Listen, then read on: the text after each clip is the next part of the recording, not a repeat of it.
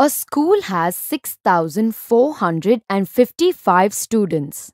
The sports master wishes to organize them into rows and columns such that they form a perfect square.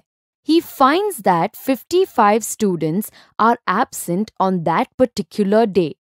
Find the number of students in each row.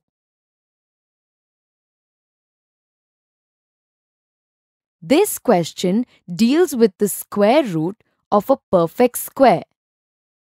On reading this question carefully, we find that 55 students are absent on that particular day.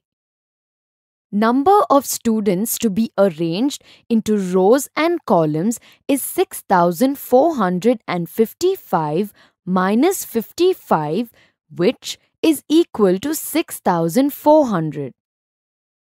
On prime factorizing 6400, we get 6400 is equal to 2 raised to the power of 8 multiplied by 5 squared.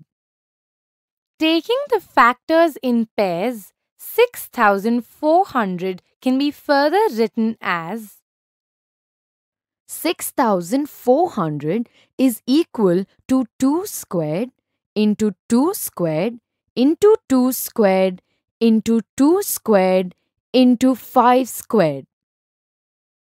Therefore, the square root of 6400 is 2 into 2 into 2 into 2 into 5 which is equal to 80.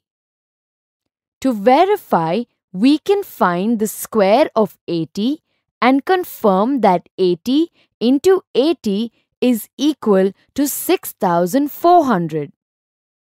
Note, there is another way to quickly find the square root of 6400. We know that 6400 is equal to 64 into 100. Thus, square root of 6400 is equal to square root of 64 into square root of 100 which is equal to 8 into 10 which is equal to 80.